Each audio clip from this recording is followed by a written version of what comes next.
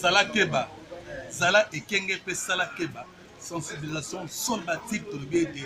covid maladie ya coronavirus ezali koboma koboma na ndenge moko ya kosakana te donc mwana kinshasa mwana bandalungwa mwana ya partout mwana rdc mwana monde mobimba toyeba ete covid ezali koboma na yango wana esengela biso nyonso to repondre na appel ya solidarité nationale oyo yemei mokonzi ya mboka apesaki tomoni ete kinkesere meneya azalaka esprit mpo ete evala aza susu te mezala badescendant na ye oyo bakomi toujours na idéologie ya evala victoria elei santa victoria dream team dream band eye bongo koprepare mpe mwa eloko moko chanson moko mpona kosensibilize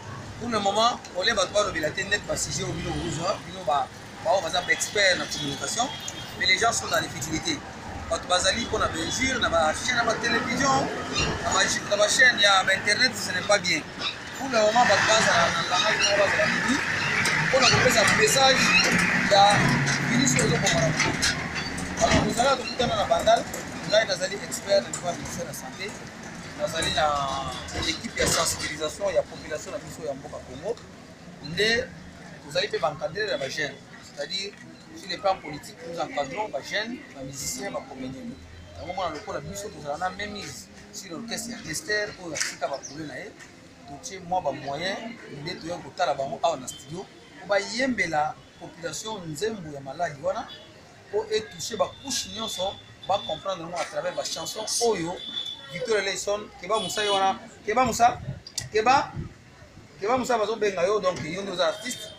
yo nde okoki kolobela yango donc toye kolanda bango po toyeba teme nini bazoutilize mpona kopesa message na population po ngai nabengaka la voix charismatique na kati ya victoria elei santa victoria aluta continua la victoria eza toujours wana kua dream team dream band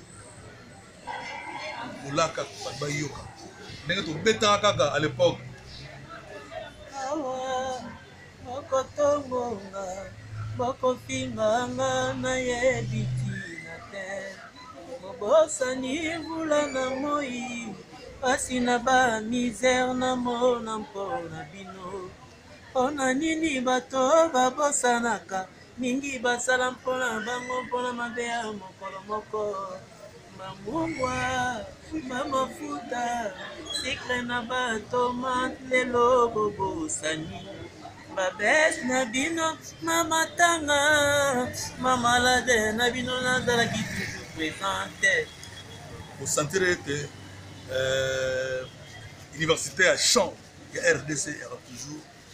na victoria ile santa dream team dream band en tout cas et certa tolobi ka idéologie moko biso tolobi nous sommes excel média congo nous sommes l'excellence dans notre profession parce que toza bavani pie te quoi toza bavani pie te nous sommes dit on doit faire la communication autrement surtout na monde ya,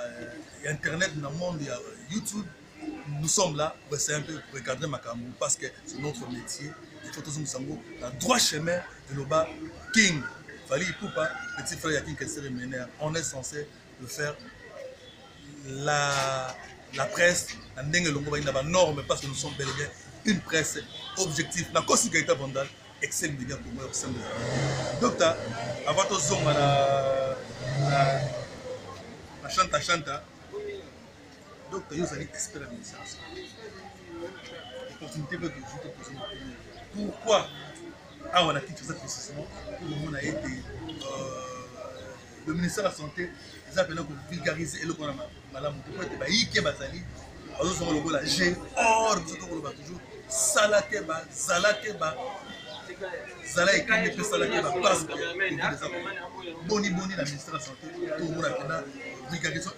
ezali makasi te oza na raison c'est un constant ke nasali donc constant wana ezali mpe yo outi osala yango yango omoni justement ngai nati nasombi yango nasombi yango na sens que bato batikelaka ministère ya santé te omoni likambo oyo eza likambo ya mboka banda président de la république ti na bacouche sociale ya si donc euh, pour le moment soki ozomona te communication ezokoma te na bacouche ya mikie il faut mutu nyonso azala sensibilise il faut mutu nyonso place azali ba ong ministère ya culture ya art ministère ya jeunesse ministère ya affaires sociale ezosala eloko moko te alors que bango nde fale basensibilize bana oyo nyonso ya bashege na banzela baintegre voir même hôtel de ville de kinshasa tozomona rien donc bazaka makasi na confinement confinement vraiment coup de chapeau eza initiative ya bien ezali mpe koarrete propagation ya maladi oyo mais maintenant l'hôtel de ville au-delà ya confinement il faut asala en sorte que sensibilisation ekota ti na bafin fond ya ville ya kinshasa bino bozali baleader ya ville ya kinshasa bino bozali presse oyo bozo communiquer de manière objective je crois que il faut mpe bosala mosala oyo bozo kosala na sili pale bapesa bino normalement bafond bainvite bajournaliste nyonso oyo bazali atravers la ville ya kinshasa bainvite bacomédien bainvite bamusicien bainvite bato oyo bapesaka message ekoma na ba euh, frontière ya ville à travers même le pays donc oza na raison na eloko wana nazokoyebisa ke communication eza te maintenant bato nyonso place azali ba s'approprie na situation oyo mpo bapesa communication pour que maladi oyo soki elobi mpenza ekotana ati kongo mobimba bato bakofukeli donc euh, ndenge tolobaki toujours ke na cadre ya solidarité bandolongwa biso déjà tobandaki masolo yango parce que tosali sensibilisation solbatique je crois ndeko gaetan akolakisa na baporte nyonso ya bandalungwa ndenge euh, banini ekomami sensibilisation solbatique donc toyende kosensibilize bato tolobi zala keba zala keba elingi koloba zala ekenge mpe sala keba mpo ete covid ezali ndeko na ngai liloba bato nyonso oyo balingaka yo par rapport ya likambo oyo tolobi sala keba covid eza en tout cas vraiment merci beaucoup merci euh, eloko nga na kosenga na ba fanatique na biso bapeuple bayebake coronavirus ezali ezali tozomona na ba tozomona na ba na batelevizio na mikili ya poto nde bazokufa mingi mingi afrika mpe maladi wana ezali donc neti eza na limite mwa moke tobatela kaka bongo parce que bino botonga bana kati ya kunga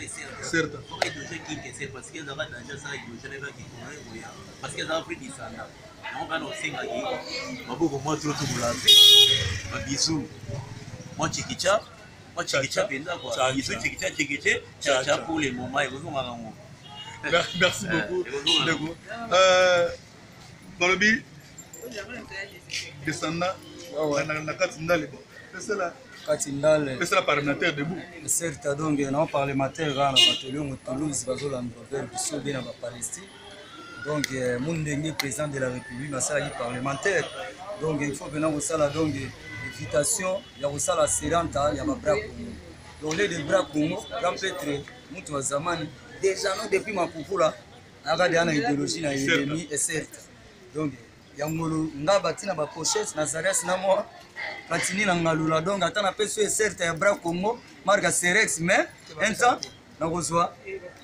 un temps nakozwa platini na nga esalela vinio na bra congo donc eh, zarias bongolo bato oliongo toulouse olandrover mundenge président de la république asali parlementaire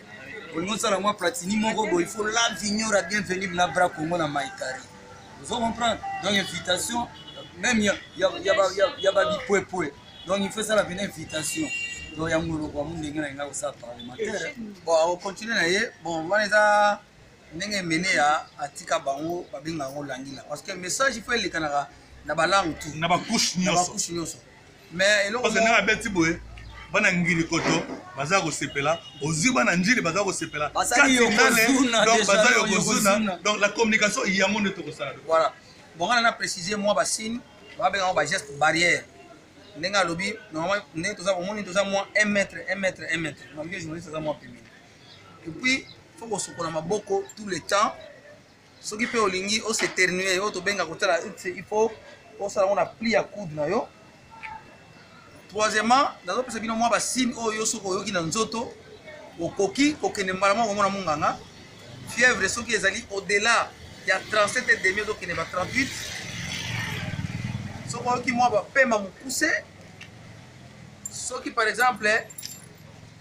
ozo kosola place oyo bakosolaka ozoyoka mpasi mwa basini wana deja ezosala ke okende ko se faire depiste mpo bayeba au juste ezali nini yango wana il faut koevite kozala peme na ba, ya moninga na yo faut toujours 1 mètre ere bozo se communiquer soki mpe oza na masque faut kotiaka masque pour que basécrétion wana ekomelaka baninga te donc nalingi napesa mwa baprécision wana kopesa mbote ya maboko te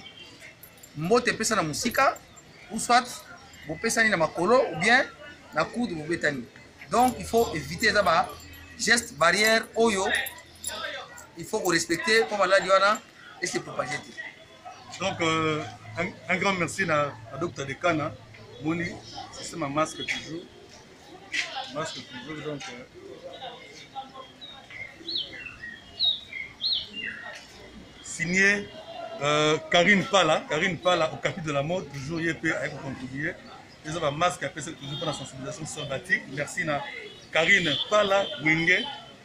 Okapi de la mode, naza bongo femme de valeur soldatique, femme de valeur soldat ya Bandalungwa.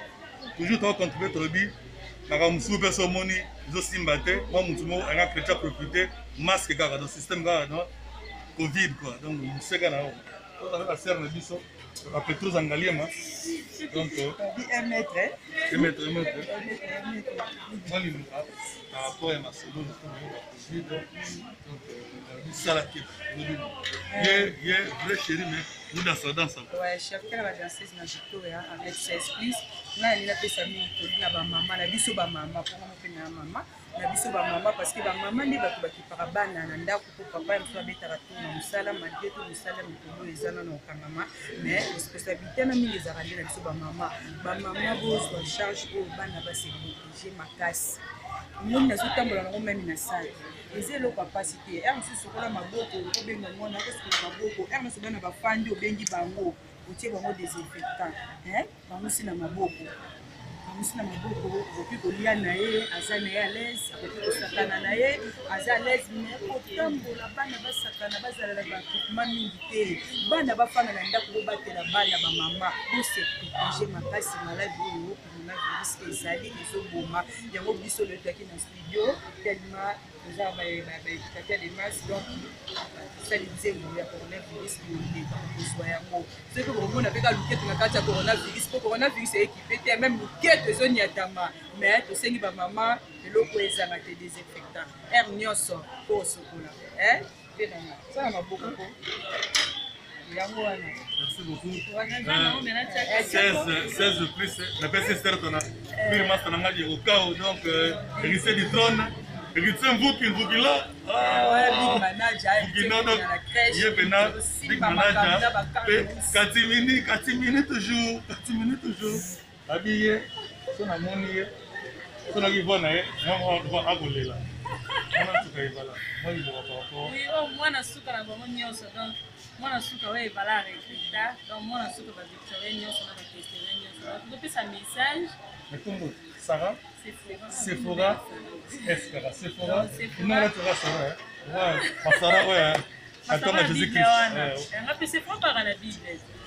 mais par rapport à la bible donc opesa message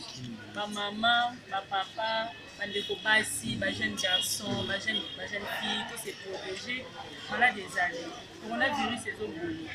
nga nayebi bato bakufi na maladi wana donc to se protege tofanda na bandako confinement eza nango mabe te confinement eza kaka pour quelque temps après tozongela biso makambo nyonso tomibatela po meme baeglise kutu okende te eza eloko bobe meme ndako na omona eza mbala liboso eloko esame meme bapapa mikolo baloba banda babotami esalama te deja eloko moko eza hasard te tozwa yango na négligence te ezali maladi wana ezoboma tosalela badesinfecta tolata bacasque na elongi bamaske na elongi elende basalati mpona komibatela kaka mpona maladi wana donc message na ngai eza yango wana coronavirus ezoboma merci beaucoup sefora tolobi toujours sala